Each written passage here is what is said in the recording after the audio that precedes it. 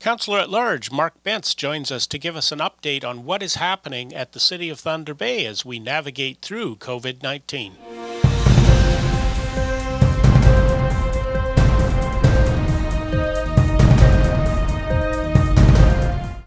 It's James with Net News Ledger. Joining us by phone is Councillor at Large Mark Bentz. Well, Mark, welcome to Net News Ledger. Thanks, James. Pleasure to be here it seems lately that we're almost doing a lot of the uh, you know interview by phone. Last night's council meeting was uh, on Zoom, which probably is, is a little bit different than than usual. Uh, what was your take on council last night? Well, my take on council is is um, uh, I'm finding the the, uh, the, the meetings that happen in um, Microsoft Teams is what we use. It's a little more secure than Zoom but uh, you know, it's it's a little harder um, to to um, it, it, the meetings take a little longer. I find sometimes there's a lot of talking going on, um, and it's harder to chair. I think for the chairs that are involved because it is a long distance meeting. But uh, by and large, we can get the work that we need to get done. Um, and right now, we're still in a in a mode where we're we're doing stuff that is legislated and stuff related to COVID, things that are timely and um, things that have to happen. Some stuff has fallen off the uh, the agendas uh, just due to the pandemic issues. Well, the biggest issue coming out of council last night was the decision for uh, recreation and parks, recreation culture and parks, to um, yep. you know a sensible decision, I believe, to you know, curtail the activities that are creating a lot of social distancing opportunity to be bro- broken. You know, if, if all of a sudden all the outdoor swimming pools are open and everything is ready at business as usual, this thing could take off on us even and negate all of the hard work everyone in Thunder Bay and across the northwestern Ontario has been doing with COVID 19. Yeah, well, yeah, certainly. There's um, there's a lot of factors that came in uh, administration's recommendations and um, yeah, of course, safety is the top priority in their recommendation. Um, other other things that I think the public needs to understand is is there was extremely long lead times in getting the pools ready. So if the province were to suggest on June the 10th that um, pools sh- shall be open, uh, we may not have our pools open until well into July, if not near the end of July, um, and leaving only a four or five weeks left of use at, at incredible cost to open. So it, it would, there, there of course was a number of factors in their decision. Um, and what I got from the report is, is they are recommending not moving forward with certain things that are very time limited uh, if we were to bring them up and then operating this summer, and also to allow them to focus on other things that can be uh, brought to bear quicker. Yes. Uh, other programs. I mean, we want to we want to offer programming, uh, but we want it to be programming that is uh, cost effective, meaning that we don't want to spend a whole lot of resources and time getting a pool open that's only going to be available for you know a, a month or so. Um, so there was a number of issues. It, I found it to be a well thought out report. No one liked what what is in, in the report because it means a much different summer than we're used to. Um, and, and hopefully this is, uh, this is the last summer we're going to have to do this. I, I am hopeful by next year we have some other things in place to protect people and or a vaccine, whichever. But uh, yeah, it, it's a tough report, but it's a well thought out uh, plan by administration. Now, over over the last weeks, you've had some concerns on how things are happening with council. What would you like to share with our viewers and readers? Well, I, I brought forward a resolution um, with regards to uh, evacuees, and, and, some of the background information is that we, we council has, has designated uh, a municipal emergency control group um, and that that is comprised mainly of general managers in the city and our emergency services chiefs, and um, to and they they are weighing in on decisions regarding to host or not host evacuees, and they were asked by the province um, uh, if we would be uh, willing to host I guess, this season. You know, with flooding and fires are, are, are common occurrences in communities to the north of us, and and, uh, and they they communicated that Thunder Bay is an unwilling host, and and they do so on an operational basis. Um, they they assess the operational needs, and of course, this is entirely due to COVID and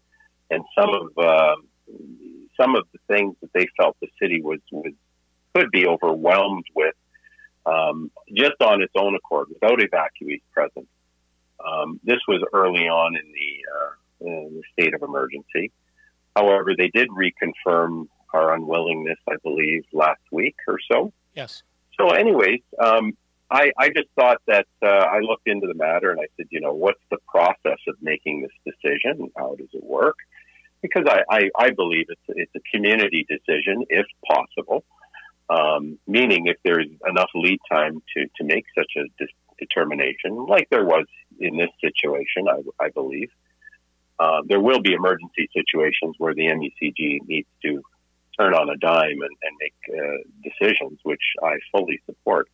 But but in cases uh, where where council and the community can be involved in such decisions, I was looking for information as to how that could happen that that was supported by council. So this will be coming back to council. I, I asked for recommendations on uh, how council could play a larger role in these decisions because while they are operational decisions, they're they're highly political decisions. And of course, myself personally, I want Thunder Bay to always be viewed as a leader in the region and a, uh, a place where where the region can turn to in times of trouble because we are uh, a major hub in the Northwest. And I also want the, the province to view us in that way as well. So, you know, I, I don't know what the political ramifications of telling the province that we are an unwilling host, being a city uh, our size with our resources. Um, I don't know what they are. Um, I can guess, but uh, that's that's why I brought that forward. Uh, it was it was well received by council. There are many councillors who feel that, that this needs to be looked at closer, which which uh, I find uh, a, to be a good thing. I'm happy that, that they're they're looking to perhaps taking some leadership here um, and uh, not delegating every author every decision related to this to to uh, administration. Well, they, you know, the the point that got raised at some levels was that people feeling that if it were not indigenous communities in the north, would that decision be different? I've had some of our readers have told me that, and some of our, our emails that we've received at Net News Ledger. You know, Thunder Bay has had with the uh, you know the OIPRD report and the Senator Sinclair report on the police that there's systemic racism. You know, we're still battling that, and we battle that at the national media side. And some of these, like you say, you know, it might be a totally logical decision that a you know a management group makes, but it has political ramifications. Yeah, and, and certainly we we we want to ensure that, that there is no systemic racism going on here, and I'm not suggesting there is, but that is that is certainly something that uh, I want to to to be sure of, and to relay that. Yeah, if it wasn't another community, would we do this? I don't know. I'm not suggesting that that, that it has any uh, bearing on the decision made. Um, but certainly, I want uh, I want Thunder Bay to be viewed as welcoming, helpful, and and a leader, and and I think that's important to uh, to our community. Um, and, and there's other there's other reasons. I mean, there's the business community is also asking about uh, this this decision because obviously this this impacts our businesses who who right now are hurting very badly, uh, particularly the hotel industry, as written uh, council. Um, there, there's all sorts of um, uh, reasons behind why council should be taking more of a leadership role here when possible. The other issue that came up uh, last night in a big way was dollars and cents and where are we at? So, you, you know, as the budget chair, what is COVID 19 doing to the city of Thunder Bay financially? Well, it, it's it's there, there's a lot of disruption in our services, um, mostly recreational, and and I mean we're we're still trying to serve the public, and you'll see the street cleaners are out, and garbage is being picked up, and but it, it's hurting us financially. It's, it's estimated to um, cost anywhere from ten to fifteen million dollars to deal with this, and this is um, this is work that is is being um, well, it's not work, but there's a lot of work going on, but different types of work to deal with this. There's a lot of services that've been curtailed, but there's a lot of costs were accruing due to uh, lost revenue opportunities, and that is going to um, be a significant uh, driver in, in budgets to come. I can I can tell the public we have a solid stabilization reserve of approximately $12 million. These funds are for one time emergencies. So, I mean, we can draw on that. Um, there's, there's, uh, but, but for cities that, that haven't uh, prepared and had some money in the bank, so to speak, uh, this is going to really um, devastate them, I would think. And the province and feds are, are suggesting there will be help, but we don't know to what extent. That's that's the issue. Yesterday, the prime minister talked about a two billion dollar fund for cities, and Toronto says, "Okay, good, we're in for one point four billion. Uh, that's a federal program. You know, if Toronto needs that much, you know, what is Thunder Bay and what's Vancouver and Winnipeg and Montreal? I mean, this is going to be massively expensive. There's a report yeah. out this morning that's saying that uh, here in Thunder Bay that businesses saw an approximately 90% drop in sales in March, you know, in revenues. Yeah. And that's going to be, you know, is, is there anything on the docket council's looking at to help our small business communities? Is there anything that council well, can do? Uh, well, we, are we're, we're engaging the uh, Community Economic Development Commission. They're going to take the lead on the economic recovery. And yeah, certainly, I think there was tourism put out some kind of staycation kind of uh, contest yesterday. I mean, our departments are trying to do that uh, to stimulate uh, things in, in, in, a safe way as we reopen. Um, but you know, our the city's hands are, are somewhat tied. This is this is more of a provincial or federal jurisdiction, um, you know, to support incomes and to provide those types of supports in these times.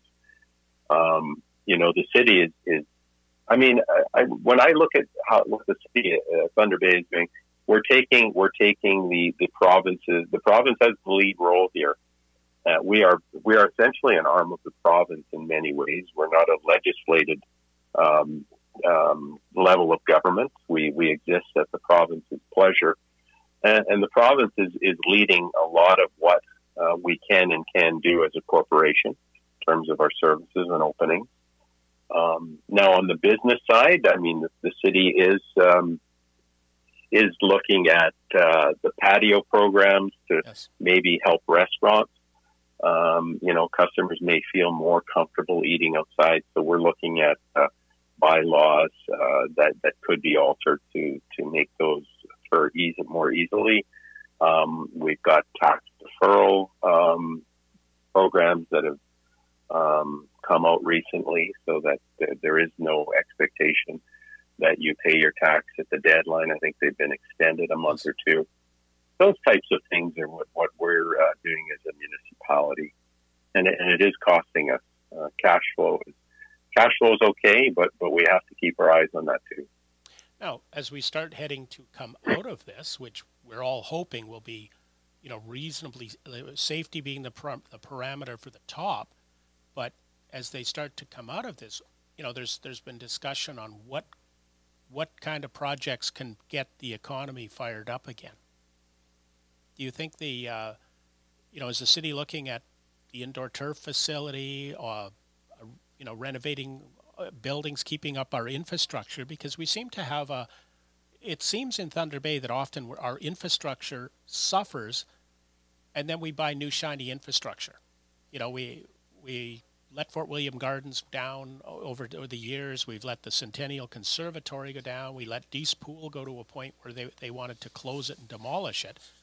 Uh, what should we be doing with our infrastructure overall in the city of Thunder Bay? Well, that, that that's a that's a pertinent question because last night at council we had the asset management plan come forward, which addresses the infrastructure deficit, and the report pegs it right now. And this this is an ever evolving number, but it's at 21.7 million annually. And what that means um, is that we are shy 20, 22 million dollars in our budgets that we pass to properly maintain um, the assets that we currently own and, and, pay for the life cycle costs. So, um, because we call that the infrastructure deficit or the infrastructure gap, and it is it is by no means um, special to Thunder Bay. Uh, in fact, uh, AMO, which is the um, municipal organization in, in, Ontario, they estimated at over sixty billion dollars with a B for the province of Ontario.